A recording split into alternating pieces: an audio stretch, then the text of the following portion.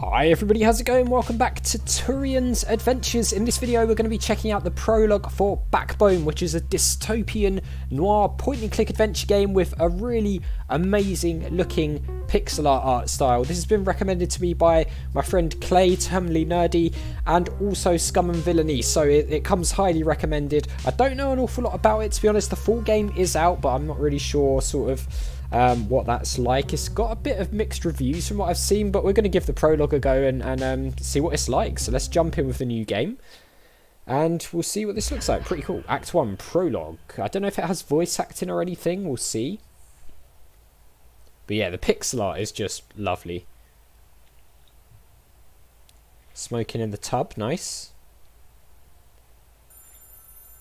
So yeah, we play as a, a raccoon detective, I believe, which is pretty cool. Is that the phone ringing? Yeah, it is. Sorry, missed your call. Yeah, no problem. 27 on the buzzer. Just enough time to clean up. Okay. Guess we're cleaning up then. okay, use A, D or arrows to move around. Press E to interact with objects. Okay, so we use the keyboard. Interesting. Okay. Uh, inspect the corkboard living room. Let's inspect the corkboard, shall we? Wow, look at this. Uh, wow, there's a lot on here. Where most of our food is grown. Wild, widest open spaces in the city. More restrictions on public visits every year. So that's the greenery. Uh, West End. No one's idea of paradise. Mainly factories and cramped tenement blocks full of neglected souls. Who's this? Ah, Pianetti, you beautiful, dangerous renegade, you. Maybe one day you'll settle down and call me again. okay. Uh, my diploma project, Places of Absolute Solitude. Only action my camera sees these days is snapping fools leaving places they shouldn't be in. nice. Village. Lower middle class Ville. It's not Gastown, but it's respectable enough. I grew up there on the border with West End. Okay, Yaletown. Good place for a nice but expensive date. Museums, fancy halls. I've not been for a long time. Granville. Granville, where the night comes to life. It's got rough edges, but it feels like home. Docks, where all the fishing boats hang out. Plenty of warehouses and seriously sketchy dive bars, too. Gastown, that's the dream.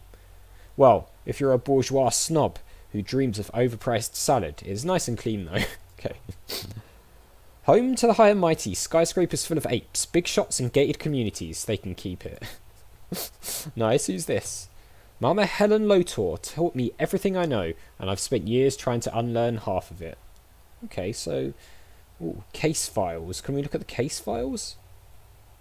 Insurance fraud, stolen cars, estranged lovers. Should probably bin some of these old case files. Inspect the desk. Use mouse to drag and drop items. Some items can be picked up by pressing E. Hmm, okay. How, what can we drag and drop? Do we... Okay, so we got that. okay, maybe we can't drag and drop this stuff. Maybe we were able to drag and drop the um, the bowl. Is there a way we... Did we, like, properly pick that up, or... I think we did. Let's, let's have another look at it. Yeah, we did. Okay, so we picked that up. I'm not sure why we picked it up. Maybe we've got to take it to the kitchen? He did say about cleaning up, didn't he? So perhaps that's what we've got to do. Uh, media set. Got to hit up Frankie to fix to fix it whenever I have cash, so never. okay. Notes on a fridge. Cool, mum. Buy soap, pay bills, don't die. Well, that's pretty to the point. I'll give him that. Photochemicals. Leaving photo developers in the kitchen is a sure road to poisoning, or a great soup.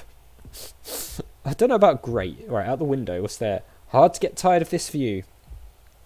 It looks pretty nice. We can't really see it that well. Right, let's put the dishes in there. I'll wash these later. Probably not. No, probably not. Uh, the toilet. Do we have to do anything in here? Toilet books. The Great Apes, The Great Story. Swell toilet read. Sounds fantastic. Right, so is that...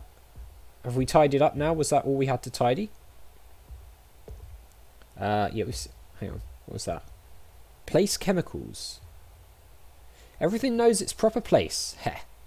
Okay, so we had to put that there as well. Ah, knocking at the door. That must be Mrs. Green. Let's open the door. Ooh. Odette. Excuse me, I'm looking for Detective Lotor. We spoke on the phone. Okay, so we've got three things. I gather you have a case for me, Mrs. Green. At your service, Mrs. Green. How's your day going? That's me. You were vague before, so tell me everything, Mrs. Green. Hmm. Let's be nice. Okay. Oh, um, truth be told, my back's killing me. Pregnancy puts pressure on the spine, and please, Odette is fine. Your first kid? You got it. How can I help you today? You didn't say much when we spoke before. Let's make some small talk. Third, actually. Uh, I'm guessing you didn't come to ask about a babysitter. Ha, huh, must be a handful. They can be, but they're the silver lining every day. I bet they're adorable. Uh, I bet they're ador I bet they're adorable. they are. Daisy, my eldest, especially, she takes good care of Elliot. So, how can I help you today, Odette? I like the music as well, it's pretty cool so far. I understand this sort of thing is routine in your line of work. It's about my husband, you see. He's missing? I'm listening. He's a cheater, ain't he? let's, let's just go for option two. I'm listening. He just hasn't been himself lately. Getting home at odd hours, making weird excuses. Uh, you suspect he's cheating on you. You tried to talk to him about it. Yes, but he gets difficult. Like it's my fault. Listen, I just need to know if you can get proof of his infidelity. I need it for the court. Uh, court, are you filing for a divorce? Tell me about the affair. I'll get you the proof, Odette. I'm taking the case. Uh, okay, are you filing for a divorce then? That's right, and above all, I need some something damning enough that custody won't even be a question. Uh, okay, your husband will want the kids then. I I can't take any chances anymore. Uh, okay, but has he said or done something to make you think he would? This is a separate issue, one I don't want to dig up right now.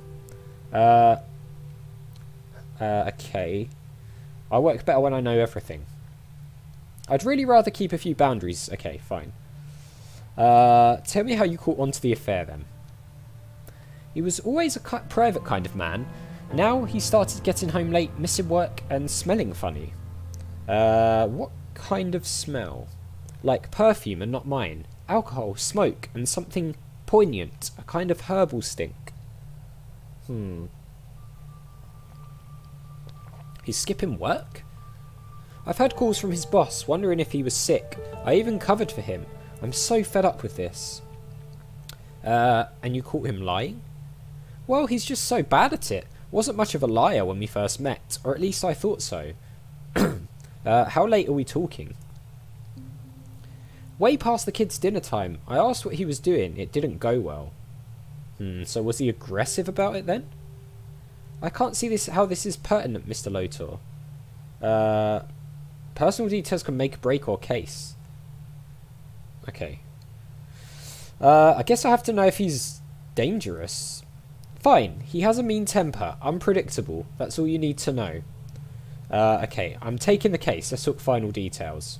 Sure, what do you need to know? Uh, what does he look like?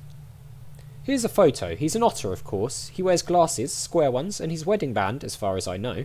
Oh, and he carries a black briefcase to and from work. Where would I find him usually? Usually at work or at home. He never used to stop anywhere. Now it's all the time. Uh, have you met any of his friends? No, but he mentioned a few guys. Says they get together after work sometimes. Uh, okay, where does he work? At the Wolf Bank on Granville. I'll write the address down for you.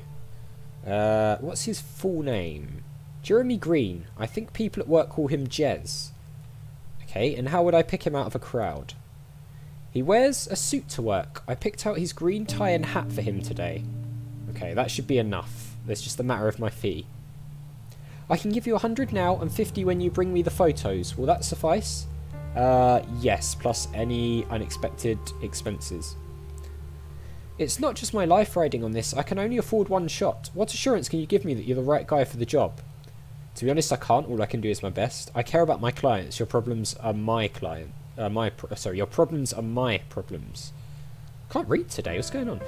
Don't let me down, Mr. Lotor. I trust you with my life. Of course. I'll get right on it. Call you later tonight. Goodbye, Odette. Okay, so we've got a new objective. So we've got to go and take a picture of him then. Uh, is there... How do we get our camera, or do we already have that handy? I'm guessing we probably already have it handy, right? So, is there anything else? No, we don't want to do anything else there. Right, well, I guess we head out to Granville then. So far, so good. I'm really liking the story and everything. It's, it's quite well put together. Something tells me he's maybe into something quite dangerous, though. Oh, look at this. This looks great. I love this art style here. Oh, it's like a title's backbone. Cool. That was really good. Granville. Wow, look at this place. Oh my god, look at the reflections in the water. The purple and green lights in it. That is incredible. Wow, this looks absolutely stunning. This is so good. Granville. Smells like wet concrete, overpriced fast food and puke. My kind of battleground. Okay, there's a squirrel here. Uh, how's it going, fella? Just hanging. What's up with you? Uh, you could say I'm hanging too. From my hanging to yours. Peace, bro. Right, goodbye then. Right, we don't, I don't want to sort of just tell everyone what we're doing. Hold shift to run. Oh, nice. This looks so cool. I love the lighting and everything. Look, wow, look how bright those lights are. That's amazing. That looks so good. Right, let's talk to a Natalie. Hey, if it isn't Mr. Howie, what's a rascal like you up to on a fine evening like this? Uh, my beaver, how are you and Estrella and the kid? They're both doing just fine. Essie and I are good, great. We even, bless the shepherd, got a second lad due soon. Oh, I got a great story for you. Another? Wow, you guys are lucky. Thanks, he's a big one too. Essie is round as a watermelon. Anyway, the story, I tell her, Ha! Woman, you get any bigger and I won't fit you in the trunk of the car. Ah, ha, funny. And so, ha, she just get, turns to me with the eyes of a killer and says, Give me the bread, honey. Oh boy, women, man. Uh, yeah, ha ha ha. Women, mysterious creatures, they love bread. So we break the news to our boy Victor, son, you're gonna have a bro soon, and he's like, oh no, bro, what is it? Uh, aha. So I tell him, Mama and Papa worked hard, so the apes let us have another baby. Baby boy, just like you. That's a rare chance for sure. Sure is. Little Victor, poor soul, starts laughing. Oh, Daddy, we're going to be so happy. Me and baby bro will play all the time. And I say, sure, son, but here's the catch. Uh, there's a catch? You and Mum are going to have to look after him because two babies means zero daddies because daddy has to work four shifts instead of two. Ha ha ha! Uh, wow, that got depressing fast. You okay? I'll manage, I'll manage. No, what did you say you were doing here? Uh, I'm looking for a guy. It seems like we can trust him, right? Yeah, I've seen him. Barrel of laughs kind of guy. Smell really bad. Took him back from the bite a couple of times. Uh, any idea where he'd be now? Guess the bite is as good a guess as any. It's a goopy place though, eh? Uh, did you ever talk? Did he mention anything that seemed strange? Nah, he was too wasted to talk most of the time. He smelled. His smell did enough talking for both of us. Wonder what he smelled of. Ah, you know, poopy kind of smell. Stale booze and perfume, herbs. Awful, awful stuff. Alright, thanks. Take care, man. Right, so we've got to find that place he said. I don't think it's here, is it? No. Must be further down the street. I wonder how we view the objectives. God, it's so... Look, it's even water on the camera. It's so well done. Rogue. They did a great job restoring the Rogue. If people watched more movies, maybe the world wouldn't be so sad. Canines. Cocktails in a movie. Sounds like a great plan for the weekend, actually. I gotta say, so far I'm very, very impressed by this. Eden Simmons is the hottest new jazz star. See her tonight only at the Bite. Well, the Bite is where we're going. The bank, Wolf Bank. Is this where Green works? Ah, oh, yeah, it is, isn't it? So there's a banker here. Uh, yeah. You folks work at the Wolf Bank, right? Yeah, why? Uh, is Jez around? And who are you? Uh, Wallace, Been looking everywhere for him. You and me both, pal, and Derek. Good luck getting it back anytime soon. Uh, when was the last time you saw him? Today, but the wimp left early. He's scared Derek's gonna split his wig, huh? Uh, did something happen? Heard his contract is not getting renewed. Bastard had it coming. Uh, okay.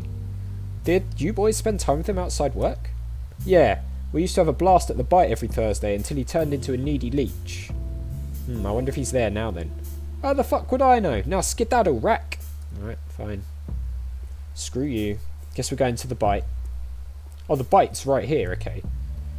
I definitely wouldn't fit in with that crowd. Wouldn't want to. Okay. Hank. No entrance for raccoons. Goodbye. Uh, okay. Uh, perhaps my friend Carlos is waiting inside. Go ask him. Yeah, of course. Get lost or I'll bash your head in.